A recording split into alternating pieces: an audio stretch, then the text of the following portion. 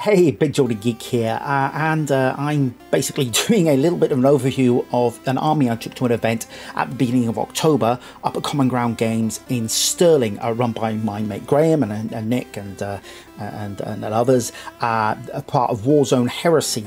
And uh, basically, what this is the Death Guard army I took. It's a three and a half thousand point army.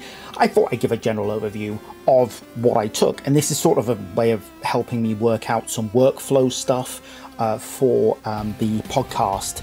Um, so, trying to figure out ways of doing things better, and sometimes that actually means doing some experimentation so that you can actually see, yeah, proof in the pudding basically. Make something, and if it works, great, I can apply that to anything. Anyway, let's have a look at the army. Okay, so let's start off with the HQ. It's usually the uh, most sensible place to start. And we have here a, a Praetor and he is converted uh, from the uh, Legion Praetor uh, Tribune in Tartarus Terminator armor that was released a, a fair few years ago. And uh, basically, he has been converted to be uh, having a. Um, uh, as you can see, my paint job's not best in the world, but he has a, a power scythe and a, a, a combi alchem flamer. And yeah, that's a, it's a really, really good combination usually for Death Guard, but obviously it's not as uh, what's the word I'm looking for? Resilient as say, uh, cataphractii armor. Uh, moving into the next unit, we have a Moritat. Uh, this is a Moritat without a jump pack because uh, Death Guard, in the lore, they tend not to like uh, do it using jump packs too much. Um, so I decided to stick with that and kind of give him just a uh, jump. You know, he's just on foot. He has two plasma pistols. Um, just this is just a standard model that you get with two plasma pistols, uh, and uh, a really really fun model to paint. Although I don't know why he's got uh, shells on the base. Uh, that's just the way the model comes, even though neither of them has uh, uh, bolt bolter bolt pistols. Weird. Next out the bag, we have a standard Death Shroud uh, Squad 5. Uh, these also have uh, melter bombs, uh, because I think that's a really good thing to uh, uh, have, multi-melter bombs. Um, the reason I usually take my Praetor as a um, Tartarus armor is because I like to accompany him with the Death Shroud, it's nice and thematic. They have Tartarus armor, it means I'm not sacrificing my ability to sweep. So these are great. Uh, they're not. Oh my god, the bases they need painting. Yep.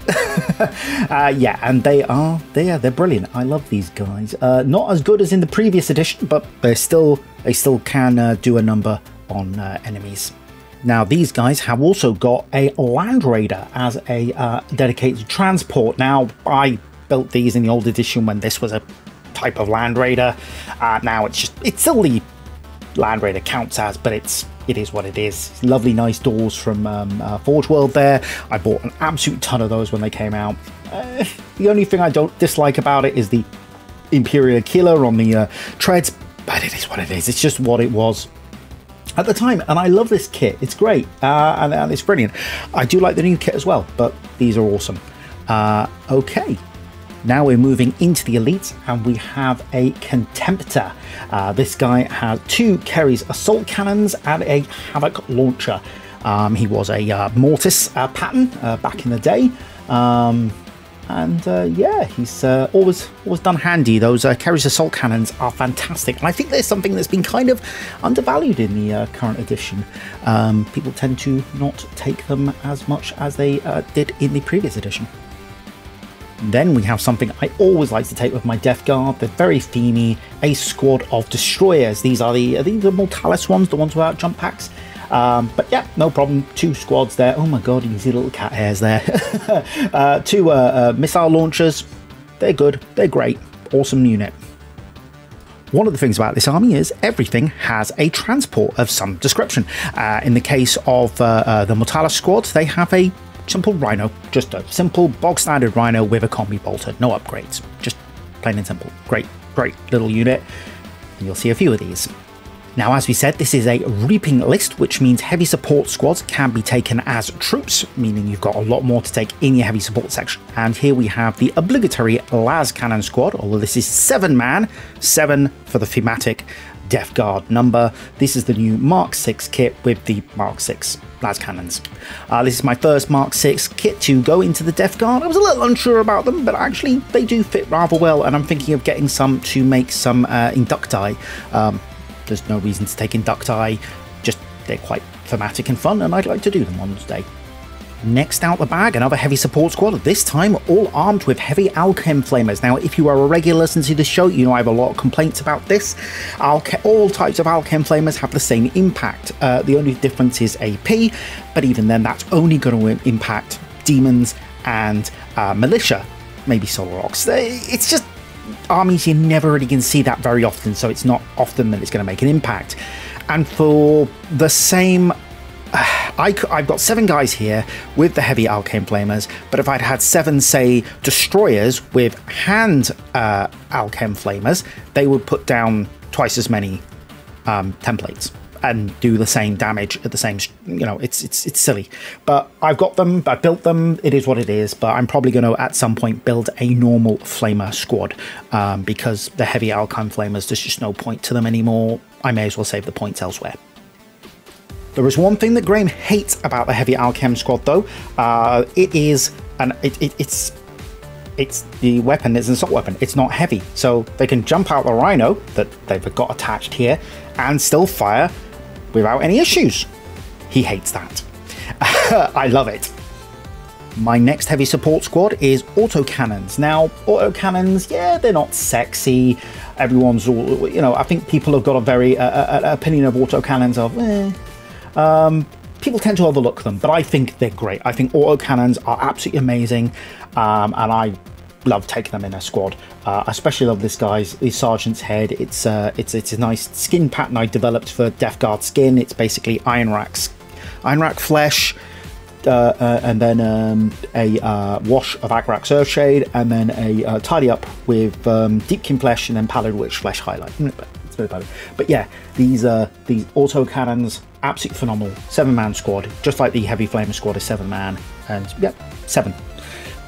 Sadly, it can't all just be about heavy support troops, so I do have two tactical squads in here. They're all 10 man squads. Uh, the uh, all both sergeants have artificer armor. We do have a Vexilla in there, although it's not actually on the army list. It's just built and it's for show off. They've all got chainswords, and uh, this sergeant in particular has a lightning claw. Now the thing is with the Death Guard, basically when they when they're off to war, you basically get handed a bolt pistol, a bolter, and a chainsword. Go do what you want with, and these amplify that. They can do stuff, but they're not the master at anything in particular. And of course, they have an obligatory Rhino because, as I said, I like to take transports with, with these squads. I like to build the, this. My Death Guard is very much a sort of armoured infantry, I guess.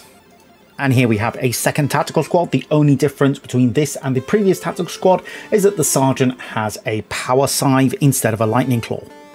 And say it with me, folks, the obligatory rhino. Just like every other rhino, but this is the last one on the list.